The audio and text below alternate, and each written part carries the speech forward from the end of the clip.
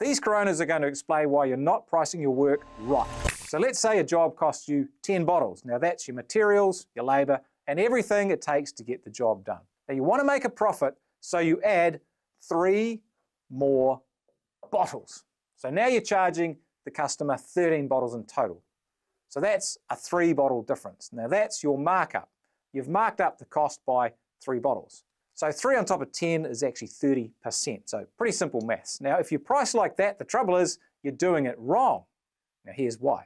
If you charged 13 bottles, you kept 3 bottles as profit. Now 3 out of 13 bottles is only 23% margin. Now I'll show you how to get 30%, but the key to keep in mind is that markup and margin, they're different. And you need to price your work based on margin. So for this 10 bottle job, you'll actually need to charge uh, 14 and a little bit bottles to come out with a 30% profit.